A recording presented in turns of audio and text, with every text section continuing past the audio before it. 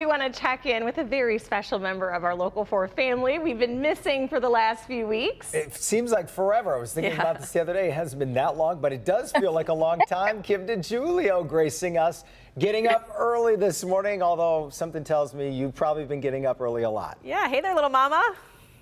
Uh, yeah, I don't know if I get up early. It's just you never go to bed. Yeah. Uh, but guys, I heard you wanted to meet the baby, so here he is. Stop it.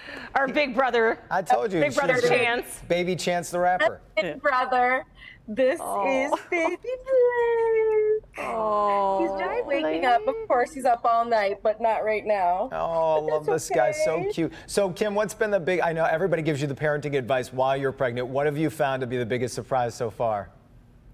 Um, the biggest surprise would just be like you don't really care about the lack of sleep because you just love him so much. and I was like kind of stressing about not sleeping, but it's not bad at all. I just love him so much. I was was amazed at how much they could poop. Just so much to ruin outfit after outfit after outfit. It's just amazing to me. well, I wasn't gonna go there, Jason, but yeah, it's a lot.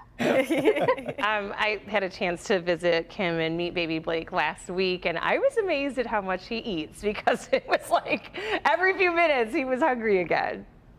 He eats all the time, and he but he's gaining a lot of weight, so that's all. It's all good. He's already 11 pounds. Well, that was just going to be my next Oh. question, Kim. How much has he grown already? Because they grow like crazy, and you can Oh. tell that he's got the sweetest cheeks, so you know that he's doing well.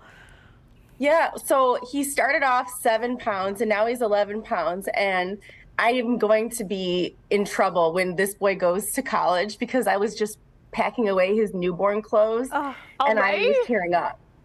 I know, I know. And it's only been a month. So Blake was born on. May 11th.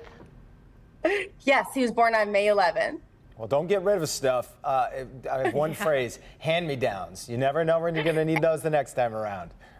Absolutely. Well, you guys also gave me like the sweetest gift basket of clothes for him that I'm so excited for him to fit into. And I just want to take this second to say the three of you throughout my pregnancy were the most supportive people ever. I mean, Rhonda and Ashley were bringing me dresses to fit my growing body, which was amazing. Jason was giving me all the advice, and then you had extra formula from Sunny that you were handing down to me. So that was so sweet. Aw. Formula, yeah, that was we had that shortage going on too. Yeah. That's Yes, good. We- exactly. Yeah. So thank you. Well, we miss you tons, of course. You're part of our family, our local four family. So we're excited to see you and congratulate you and your husband, Kevin, on such a beautiful, adorable baby boy. You guys look great. And I wish I could sleep like that through live shots. Look at him. I mean, know. he's just a champ right there. Yeah. there. And loving the tiger outfit, right? Right on brand for the doubleheader Exactly. today. I oh, look know, at that's perfect. I love it. Oh,